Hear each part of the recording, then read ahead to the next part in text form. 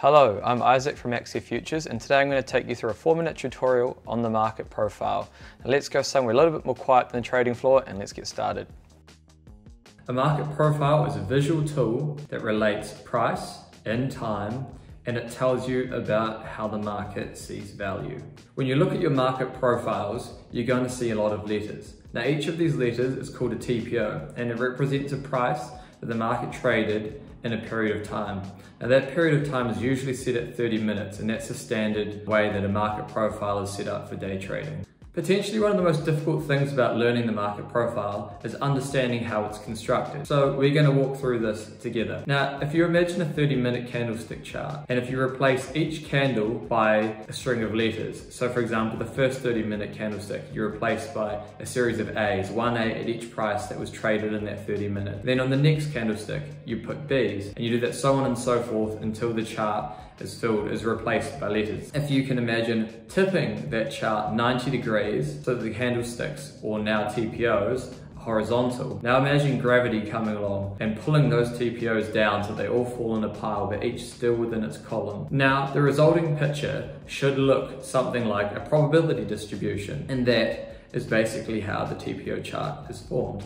If you're looking at a market profile, you're likely to see two features. The first is the row with the most TPOs, and this is called the point of control, and it's the price that was traded most frequently in the 30 minute time period. The second feature is a zone, and it's usually colored, and this represents value, and it contains 70% of the TPOs for the day, or at least 70% is how profiles are usually set up. Now what about the volume profile? You'll often see both a TPO chart and a volume profile. Now, the volume profile is very, very similar. However, instead of looking at price and time, you're looking at price and volume. So you can almost think of it in exactly the same way, except you're just looking at how many lots traded at each price or how many shares traded at each price, rather than how much time did it spend, how many 30 minute intervals did it spend at that price.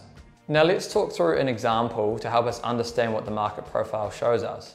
I'm originally from New Zealand and in New Zealand supermarkets, bananas are the most commonly sold fruit or vegetable. So let's suppose a New Zealand supermarket raised the prices of its bananas and then found that it cut off customer demand. Now a neighbouring supermarket may start to lower their prices and in return start a supermarket banana price war. So as prices go lower, customers are of course want to buy them. But if prices move too low that it removes the profitability from the supermarkets, then they'll have to start increasing their prices. And this describes the auction process. And somewhere in the middle, customers will find value and supermarkets will find value. Now, why is this understanding of value important? Let's say you wanted to sell a low in a market. Now, if the market was extended from value, that might not be such a good idea. However, if value is moving lower as price move lower, then selling that low makes a lot more sense. I hope you've enjoyed this tutorial about the market profile. It's one of my favorite tools. If you'd like to know more about profile trading, or if you'd like to know what it's like to be a professional trader, subscribe to this vlog and follow me on my journey as a junior trader at Axia Futures in London.